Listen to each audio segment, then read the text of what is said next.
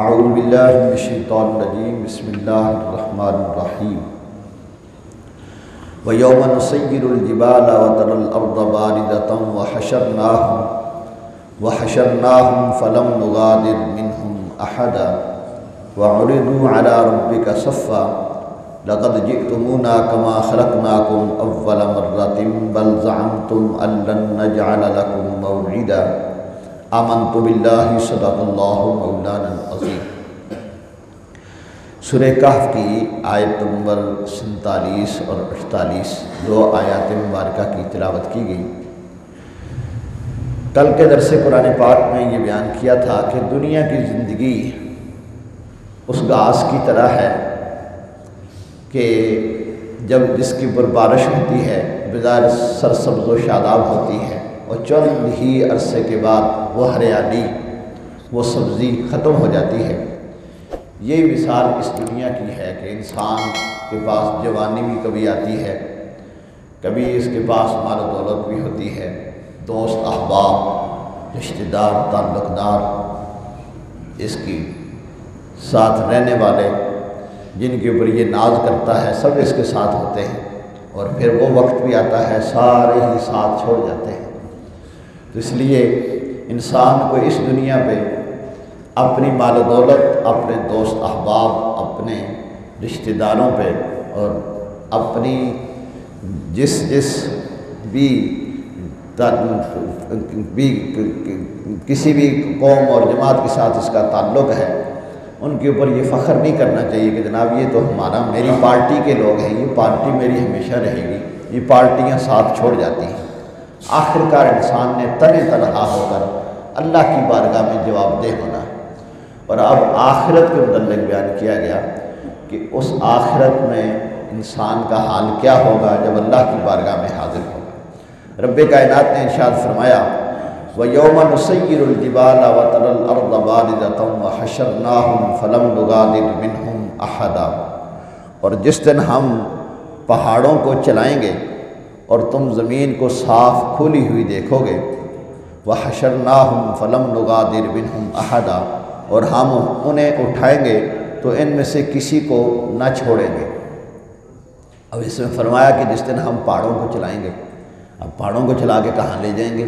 तो ये अल्लाह रब्बुल ने सुर ताहा में बयान फरमाया व यस अलूना का अनिल जिबारी फ़कुल यन सिफ़ा रब्बी नसफ़ा। फ़ैदरहा का अन सफ़ सफ़ल्ला तराफ़ीहा इवजम वला अमता और आपसे पहाड़ों के मतलब पूछते हैं तो आप फरमाएँ उन्हें मेरा रब रेज़ा रेज़ा करके उड़ा देगा जिस तरह जब आप अपना कोई मकान बनाते हैं पहले वहाँ टिब्बे टेले होते हैं और फिर बिल्कुल सीधा करके आप वहाँ अपना मकान बना लेते हैं इसी तरह जब क़्यामत आएगी तो ये ज़मीन के ऊपर जितने दरख्त हैं, जितने पहाड़ हैं, जितने ये बिल्डिंगें आपको नज़र आ रही हैं, ये सब मिलिया मेट हो जाएँगे और सब ख़त्म हो जाएँगे।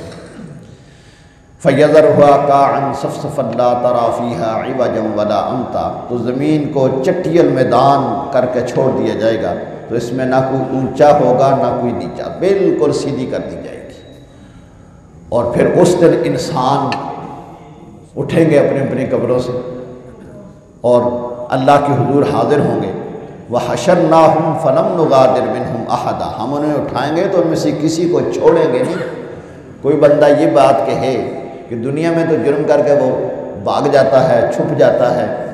किसी दरख्त के पीछे, किसी पहाड़ के पीछे, किसी बिल्डिंग के अंदर, किसी तय खाने में चला जाता है। लेकिन ऐसा नहीं होगा कि जुर्म करके रब से छुप जाए। रब से नहीं छुप सकेगा। वह और दो आला रब का सफ़ा और सब रब के हजूर सफ़ बंदे के हाजिर हो जाएँगे। अपनी अपनी लैनों में लग के सब अल्लाह के हजूर हाजिर हो जाएँगे। और फरमाया लकत तुमूना कमा खलक ना तुम अव्वला मर्रा। बेशक हम, तुम हमारे पास वैसे ही आओगे जिस तरह तुम्हें दुनिया में बनाया था। दुनिया में जिस तरह इंसान खाली हाथ आता है, नंगा होता है, इसी तरह हशर के दिन भी इसके ऊपर लिबास नहीं होगा, ये अल्लाह के हजूर ऐसे ही हाजिर हो जाएगा। अल्लाह अकबर, बल तुम अल्लाकुमदा बल्कि तुम्हारा कमान तो था कि हम हार गए तुम्हारे लिए कोई वादा वक्त मुकर ना करेंगे। यानी तुम्हारा ख्याल तो ये था कि जनाब ये दुनिया है, इस दुनिया में कर लो जो करना है जिस पर ज़्यादती करनी है, जिसका माल लूटना है, जिसकी ज़मीन पे कब्ज़ा करना है, जिसके साथ जुल्म ज़्यादती करनी है, कर लो। तुम्हें आखिरत याद ही ना थी। आखिरत वो आनी ही आनी है। जिस तरह मौत बरहक है, किसी इंसान को इससे फ़रार नहीं। मुसलमान है, काफिर है, हिंदू है, सिख है, सब ही मानते हैं कि मौत आनी ही आनी है। तो जब मौत आनी ही आनी है तो उसके बाद हशर भी आनी ही आनी है, और हशर में फिर इंसान ने जो कुछ किया होगा अपने रब के हजूर जवाबदेह होगा मैया मल मिसकाल ज़र्रतन खैर यरा व मैया मल मिसकाल ज़र्रतन शर्र यरा। एक ज़र्रे के बराबर भी जिसने अच्छाई की होगी, अपनी अच्छाई को देख लेगा और जिसने बुराई की होगी, अपनी बुराई को देख लेगा। इसलिए इंसान को चाहिए कि अपनी जवानी, अपनी मालो दौलत और अपने दोस्त अहबाब पे मस्त हो गए। किसी के साथ जुल्म ज़्यादती ना करें, किसी का हक ना मारे। किसी की ज़मीन पे कब्ज़ा ना करें, क्योंकि ये दुनिया छूट जानी है और तने तनहा कब्र में जाना है और तने तनहा ही अल्लाह की बारगाह में जवाबदेह होना है। इस बात को मद्देनज़र रखेगा तो कभी ये परेशान नहीं होगा, ना दुनिया में, ना आखरत में।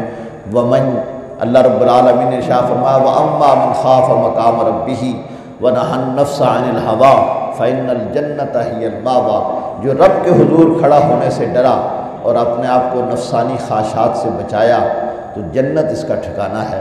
अल्लाह रब्लमीन हमें दुनिया आखरत की कामयाबियाँ नसीब फरमाए, हकदारों के हकूक़ अदा करने की तोफ़ी नसीब फरमाए, जिस जिसकी जो ज़िम्मेदारी जहाँ कहीं लगी अपनी ज़िम्मेदारियाँ निभाने की तोफ़ी अता फरमाए। व आखिर दावाना अनिलहमदिल्ला